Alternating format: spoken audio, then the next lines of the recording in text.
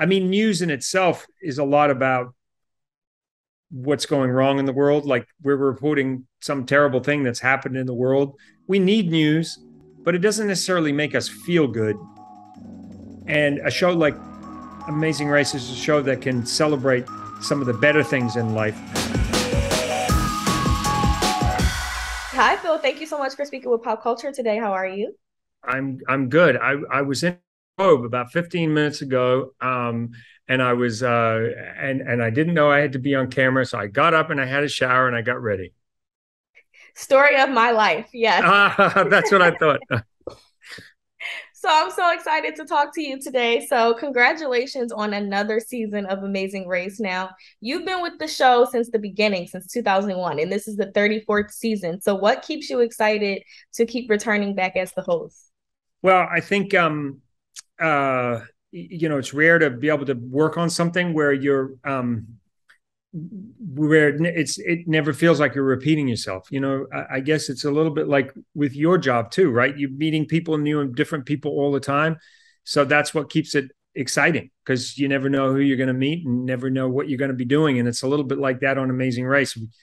You know we've been to i think some somewhere like 100 countries now. And 400 episodes and we've done so many different things with so many different people. It's it just keeps the job exciting. So I, I feel very lucky to work on a show that keeps me on my toes and keeps me guessing and um is always exciting. It's always I love people and I get to meet awesome people. What about the show do you feel makes it a success? Like I said, we're in its 34th season. And aside from soap operas, that doesn't really happen. Yeah, it's true. I I think it's just you know it's a it's a, it's a it's an awesome format. You know, um, Bertram and Elise came up with a great format where um, we've got um, people who are in a pre-existing relationship traveling around the world trying new and different things it's a celebration of the human spirit and i think people resonate to to the race because it makes them feel good and there's plenty of shows that sort of focus on the things that are wrong and make entertainment out of that. I mean, news in itself is a lot about what's going wrong in the world. Like we're reporting some terrible thing that's happened in the world. We need news, but it doesn't necessarily make us feel good. And a show like Amazing Race is a show that can celebrate some of the better things in life rather than some of the things that go wrong. Mm-hmm. So I, that's part of what I love about the show, and I think that's why people like to watch it because it makes them feel inspired and makes them want to get out and travel, and it makes them enjoy an experience with with uh, with, with the cast. You said that you've been to over a hundred countries alone with this show. What's been your favorite, or give me like your top five? What's been the top five places that you've been on this show? Well, I I, I personally have been in, been to over 130 in my life. Um, because before I started on race, I, I had actually been to 60. Um, I, I, it never gets old for me to go home. I mean, I'm from New Zealand, so I love going home. I love going to New Zealand. Um, I think uh, Italy is is a is is an amazing place. Um, I love France. Uh, France is the most visited country in the world. So I'm a bit of a francophile. I mean, I love the Pyrenees. I love the culture, the food. Gosh, you know, it, it's really anywhere new. Um, I love going to new places. I spent um, I spent a good part of my life in Antigua uh, when I was younger. I lived there for eight years on the island of Antigua in the Caribbean. So I love the Caribbean islands and exploring new places there. Uh, yeah, anywhere new and different is my favorite place. I would say, even though I've been to to so many different places and I love going back to certain places, I also do love the place I've never been. There's a twist this season. What can you tease us about the unexpected inclusion?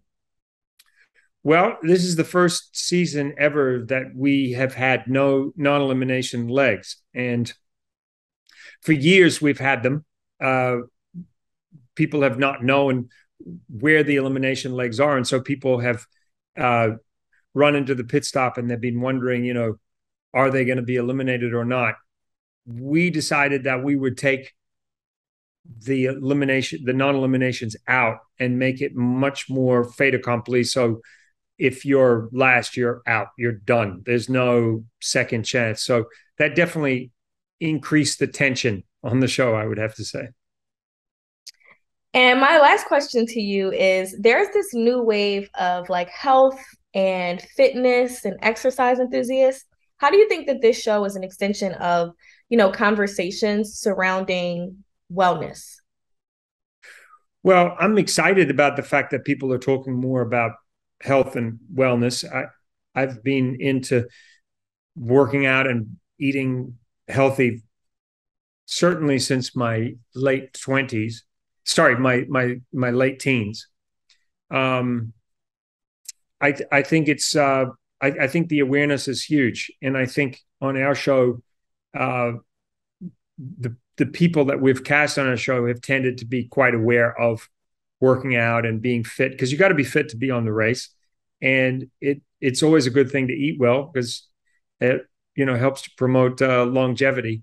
Mm-hmm. so i'm yeah i think we've had some really great examples on amazing race of people who have have led a really healthy lifestyle and it's something we need to focus more on you know we've got a lot of obesity too um, and a lot of that is to do with education and uh, back in my day when i was at school we actually had uh, we learned about nutrition. You know, it was like a subject at school. Mm-hmm. What a carbohydrate was, what sugars were, what they did to you.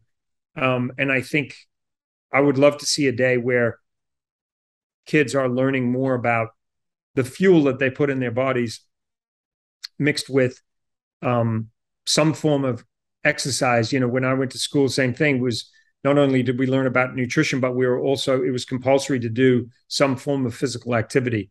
So I think we need more of both of those in school, but it has to start young because you've got to, you want people to start those habits early. It's, it's harder when people get older to have them change habits. Absolutely. Well, it's been a pleasure speaking with you today.